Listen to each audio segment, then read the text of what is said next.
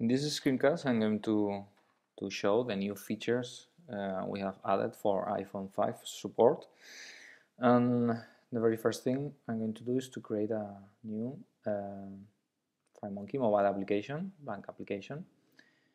And as you notice on the drop down for the device there is a new entry which is called iPhone 5 and it features the iPhone 5 uh, form factor so this is the iPhone and this is the iPhone 5. Uh, there is a new option on Tools Options uh, which allows us to select which device is going to be used by default when, when creating uh, new mobile forms.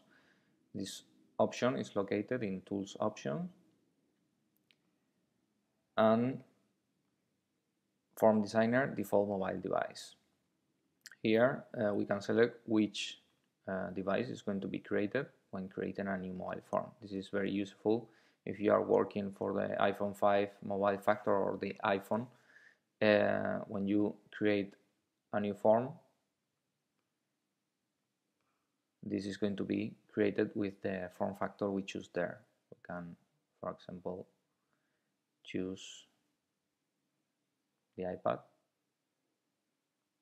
and then create a new mobile form and then you get the, the iPad here okay? So I'm going to change it to iPhone 5 again. Then I'm going to create a new empty mobile application. Say no. Okay. So in project options uh, we can select a new splash screen for the iPhone 5 form factor okay? This is the uh, regular uh, iPhone. This is the iPhone 4 and this is uh, the iPhone 5 okay? I'm going to use one I have already selected here this one okay just to show you what happens with the status bar and all that stuff when when uh, writing an application for the iPhone 5 and for the sake of this sample I'm going just to place two buttons on the corners so you will see that we are using the um, uh, all the the full screen for the iPhone 5 and to uh, run uh, this application on the iPhone 5 uh, simulator, just double click here on this node inside the uh, iOS simulator platform and that's it. Let's run.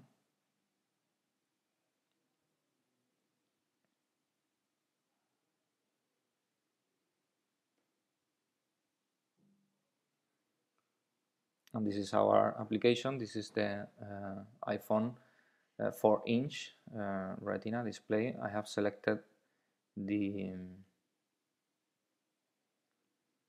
the um, zoom to be 75% uh, if I choose 100% you know it's not very well seen. So I'm going to return back to 75% and then I'm going to go to the home screen and run the application from here so you can see the splash I don't know if it can be appreciated on the screencast, but you know the status bar is, is shown when the splash is uh, loaded. So you have to take that into account when designing your uh, splash screens for the iPhone 5 or for any uh, iOS applications. And in this case, uh, I'm going to show you also how you can get rid of this status bar if your application doesn't need needs it. So for that, just select the form and then change the property border style to be bsNone. Same time, you see the status bar disappears and I'm going to move this also here and run the application again.